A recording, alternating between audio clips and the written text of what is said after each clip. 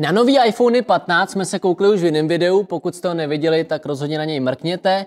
Nicméně zářijová konference Apple Keynote přinesla ještě jednu novinku, nebo teda spíš novinky, a to novou generaci nejpopulárnějších chytrých hodinek na světě. Tohle je Apple Watch Series 9 a Apple Watch Ultra 2. No a začnu základníma Apple Watchema a hned na úvod by se asi hodilo říct, že ty zásadní změny proběhly především uvnitř. Hodinky jsou nově postaveny na novém a výkonnějším čipu SIP S9. Dvoujádrový CPU má 5,6 miliard tranzistorů a dvakrát tak rychlejší Neural Engine. Díky tomu jsou hodinky chytřejší, šikovnější a plynulejší a přesto si zároveň udrží celodenní výdrž. Přestože teda neznáme přesnou kapacitu, tak výrobce slibuje až 18 hodin na jedno nabití. Nový čip se mimo jiné projevuje i na integraci Siri přímo do hodinek, díky čemuž bude chytrá asistentka fungovat rychleji, jelikož už nebude třeba třeba tahat informace z cloudu mimo hodinky. A taktéž přijde vhod, že Siri má teď přístup ke zdravotním datům, takže když budete chtít něco vědět, stačí se jenom zeptat a ona to hned vyhledá. Taktéž hodinky slibují o 25% přesnější diktování. Asi nejzajímavější novou vychytávkou hodinek je nová funkce, nebo tedy spíš gesto, takzvaný double tap, kdy pouhým poklepáním prsty, jako byste někoho štípali, můžete ovládat hodinky, aniž byste se dotkli jejich displeje nebo korunky. Tímto způsobem lze třeba přijímat hovory, ovládat ovládat hudbu, típnout budík, spouštět časovač a tak dále. Hodinky umí zaznamenat tohle gesto na základě pohybu zápěstí a oběhu v krvi, prostřednictvím akcelerometru a gyroskopu. Tato funkce přijde vhod zejména ve chvílích, když budete mít plné nebo třeba mokré ruce. Možná jste také zaznamenali, že podobné štípací gesto budou mít i brýle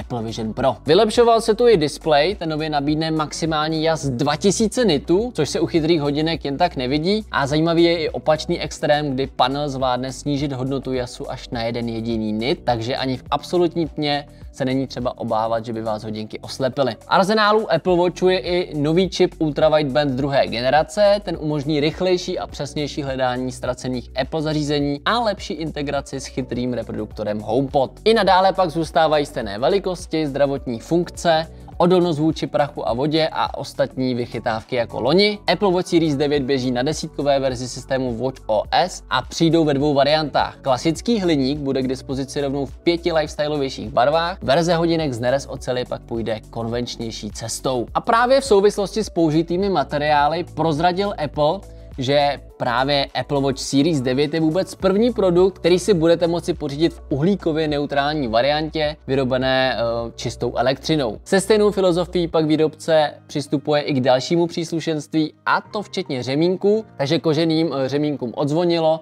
a naopak tady budeme mít uh, řemínky z recyklovaných materiálů, pletené a tak dále. Apple Watch Series 9 se začnou prodávat už 22. září a startují na 11 490 korunách. No a svého jeho nástupce se dočkala i nabušenější outdoorová verze hodinek Apple Watch Ultra 2. Zde najdeme stejný S9 čip spolu s rychlejší Siri a štípacím gestem Double Tap, stejně tak jako vylepšený Ultra Wideband čip. Vylepšení se tady ale dočkal LTP očkový panel, který nyní při svém maximu zvládne jazd dokonce až 3000 nitů to už je teda opravdová šílenost. Na něm se bude výjímat třeba i nový ciferník, který zobrazuje všechny důležité informace pěkně na jednom místě, jako je třeba nadmorská výška, hloubka nebo ubíhající čas v sekundách. Hodinky si pak přilepšily i co do výdrže, což je důležitá informace. V módu normálního používání slibují až 36 hodinovou výdrž, v režimu nízké spotřeby se pak dostanou až na 72 hodin. V rámci systému Watch OS 10 se dočkáme podrobnějších tréninkových údajů třeba k běhu a extra péče se dostalo cyklistice.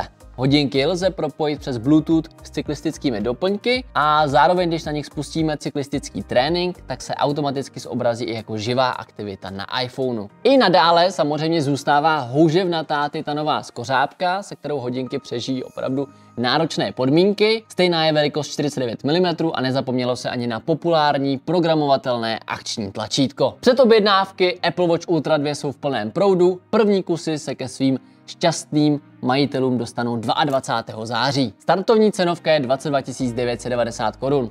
Tak co na ty hodinky říkáte? Tohle jsou tedy nové Apple Watche. Napište mi do komentářů, eh, jaký z modelů se vám líbí nejvíce a zdali do nich půjdete, nebo jestli zůstanete třeba u nějaký minulý generace. My si samozřejmě Apple Watche nový generace otestujeme, jakmile se nám dostanou do rukou, nebo teda spíš na ně.